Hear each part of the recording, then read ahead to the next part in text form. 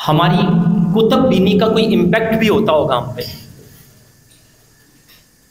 तो उसके हवाले से मैं जनाब साइम रऊफ़ से गुजारिश करता हूँ कि जो हम किताबें पढ़ते हैं उसका सोसाइटी पे उसका हमारे पॉलिटिकल निज़ाम पे या इस इलम का हमें क्या फ़ायदा पहुँचता है। आइए इनके ख्याल सुनते हैं। Uh, hello everyone.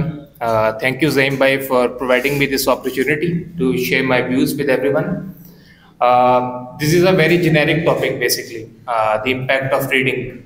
Uh, but we have, you know, made it a little concise by dealing with the political vantage point of reading. So reading has really changed the courses of history for many civilizations and countries. If we simply take the domain of politics, then the word politics, even it has transformed and changed and evolved over the course of time.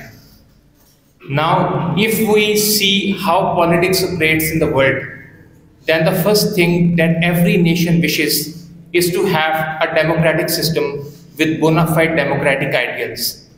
But democracy, in its true essence, can only function if it has a population that has developed reading as a hobby or reading is operating in its culture as a norm, right? Now, reading produces enlightened citizenship and enlightened citizenship makes enlightened decisions, which helps any kind of country to operate in a streamlined manner.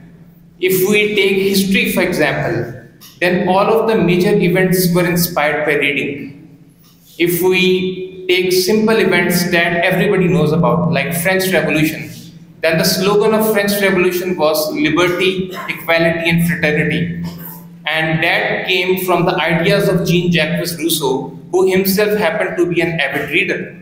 If we take an example of uh, Hitler's World War II's Nazism, then the art of propaganda that is very prevalent today in this world also came from his habit of reading, although he used it in a different dimension, which increases the importance of reading that we must be able to understand how reading operates in our society and what are its positive sides and what are its negative sides. Hitler used it in another way, the others used it in another way. Unfortunately, reading as a hobby, as a culture, as a norm hasn't really uh, established in the Muslim Ummah. When in 1400 Gutenberg, Johannes Gutenberg, came up with the idea of printing press, it changed the fortune of Europe. But at the same time, when printing press was offered to the Mughal Empire, they ignored it, and which ultimately resulted in the disintegration of Mughal Empire. If we see the history of Ottomans, the Ottoman Empire, they also became stagnant at one point and did not develop or promote reading, did not promote books, which ultimately resulted in the downfall of Ottoman Empire. So it clearly shows that why we are struggling as a nation, as Pakistanis, is because our population is not invested into this hobby of reading.